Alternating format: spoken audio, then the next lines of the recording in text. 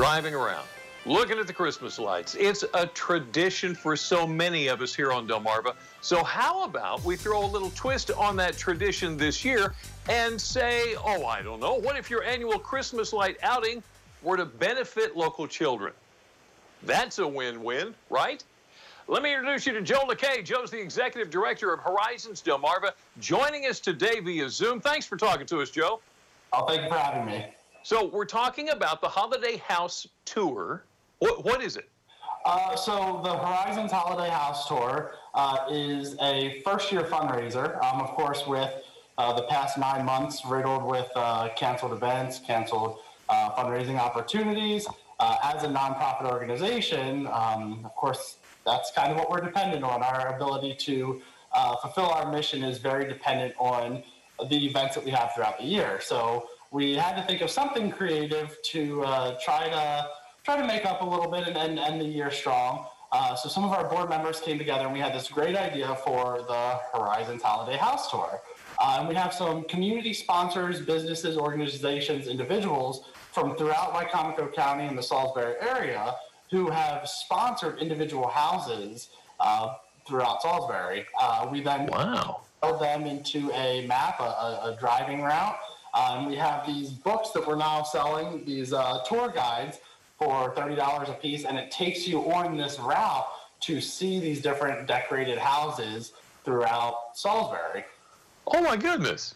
What a great idea. All right, Joe, let me ask you this. How does benefit, how does Horizons Delmarva benefit the local kids? Oh, absolutely. So Horizons Delmarva has been uh, serving Wicomico County for the past 18 years, and this year we actually just launched to uh, and expanded to serve Worcester County as well.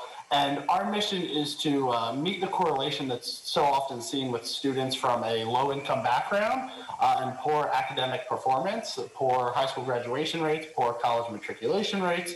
Uh, and we do that uh, most of our, along with year round support, including tutoring, um, uh, grade, and, and, and behavior uh, tracking for our students we focus a lot of our efforts in the summer. Uh, during the summertime, a lot of students undergo what's known as the summer slide, where uh, because of a lack of um, engaging activities and opportunities, students from yeah. a low income background uh, experience a, a, a, diminishment of uh, what they gained during the school year. So we have a six week summer learning program where we take these students and uh, they're taught in all the STEM uh, classes, and then they also get to go on field trips uh, and our students perform, uh, on average, an entire letter grade better throughout the school year than their peers. We have a 99% high school graduation rate.